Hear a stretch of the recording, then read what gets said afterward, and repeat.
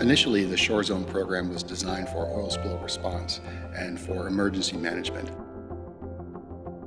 As a scientist, it's an incredibly rich data set that I can use uh, for many things, and the imagery has helped me in many, many ways as well.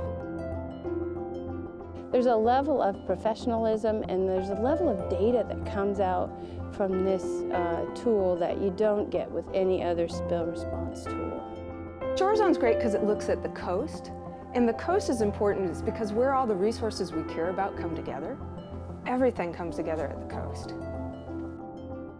Life in Hoonah, Alaska is intimately tied to the sea. Fishing is a mainstay, and hunting and foraging grounds are a boat ride away. Residents bring home salmon, deer meat, berries, and beach foods, much as their Tlingit ancestors did for thousands of years. Cornelia Koenig's parents taught her to gather and prepare wild foods. They taught her children, too. They tried to teach them, you know, what they, what they taught us about um, being respectful to the, to the land and to the animals and fish that you that you got because it was it was for your livelihood that uh, you got them. Life is changing though, and ties with the past are loosening. The natural world is becoming less predictable too. You know, Gartina, Gartina Creek was so full of fish a long time ago. And now, last year, we saw three, maybe three jumps. Yeah. And that is the most that we saw in the last couple of years. Changing weather patterns, melting glaciers, and geologic changes are reshaping Alaska's coastline, altering patterns of where and when people can gather wild foods. It's the focus of U.S. Forest Service research in Hoonah and 13 other villages. I'm working on a project using the Shore Zone database to better understand how shorelines of southeast Alaska are changing. And these changes have important impacts on some of the people that are living within these communities.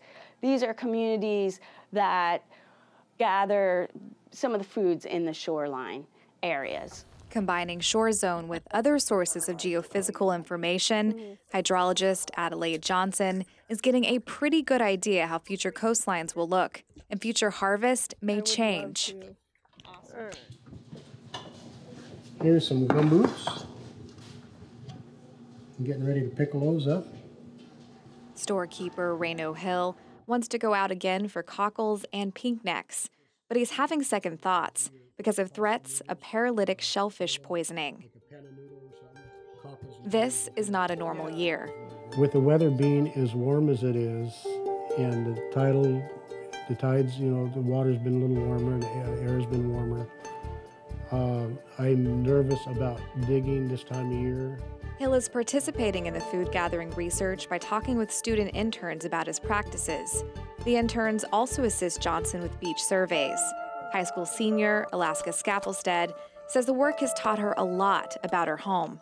This thing just turned into a big, much more than what I thought, and this is like really an important topic for Southeast Alaska, for Hoonah, to know like what's going on, how to fix it, what's safe, what's not.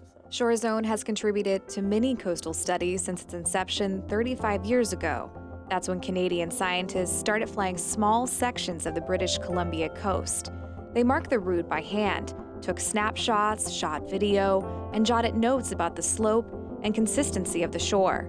Later, they added information about plants and animals too. The program grew in fits and starts, but a single event in 1989, the Exxon Valdez oil spill, drove home the need for a contiguous, detailed, and geo-referenced shoreline inventory. Cheryl Foltz was working for the state of Alaska then. She was charged with finding sensitive areas to protect, like eelgrass beds that are nurseries for young fish. And it turns out there was a not very much information, uh, and the information that was there was sporadic. Shore zone mapping didn't start in Alaska until 2001. It was a huge task. Alaska has more than half the entire coastline of the United States, but Shore Zone has covered ground quickly.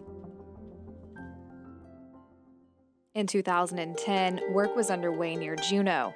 to remove bunker oil from the wreck of the steamship Princess Kathleen after more than half a century on the seafloor. The threat of a spill was serious. Now with Shore Zone, we were able to fly the coastline and find the areas that within those uh, sections that would get oiled that needed protecting. Things like salmon streams and uh, habitat for eelgrass.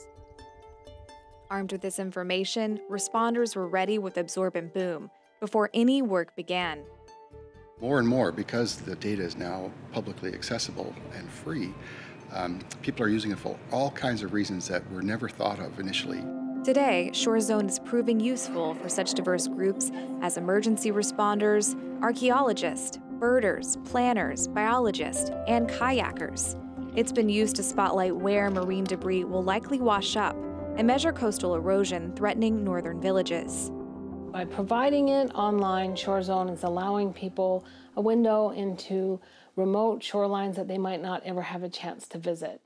Support comes from a unique consortium of more than 65 private and public, local, and national groups. They're working to ensure that the coastlines of Alaska, British Columbia, Washington, and Oregon are fully mapped. Meanwhile, art shows featuring Shore Zone photography and its free online presence have raised the program's public profile. 10 years ago, we were delivering Shore Zone on DVDs and even before that on CDs, and now it's available online. Think of Shore Zone as a Google Street View of the coast. Flying 300 feet off the ground, the helicopter offers an oblique view, revealing surface features and 3D relief that's absent in satellite images. A biologist and a geologist on board provide a running commentary.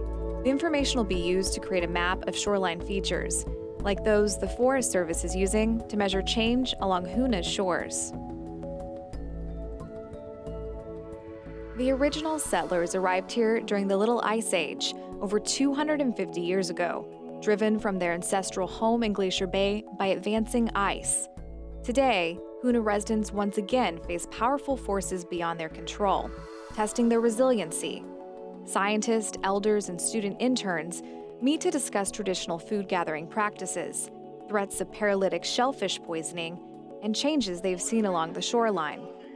Resident John Hillman is hopeful that elders and youth, with the help of science and tools like ShoreZone, can build a strong future. See all this collaboration of different agency people, different universities and all that, come to help us out with our, uh, basically our subsistence way of life and make sure it goes on for the next generations of kids here. Meanwhile, outside, a boatload of herring eggs is being delivered. Herring were once plentiful in Hoonah waters. Now the eggs are harvested in Sitka, more than 70 miles away. Still, once the eggs arrive, they are distributed throughout the community, and a long tradition of sharing carries on. Studies in Hoonah and all over Alaska are ongoing. Shore Zone data is an important baseline tool to track natural and man made changes to the vast shorelines on which people depend.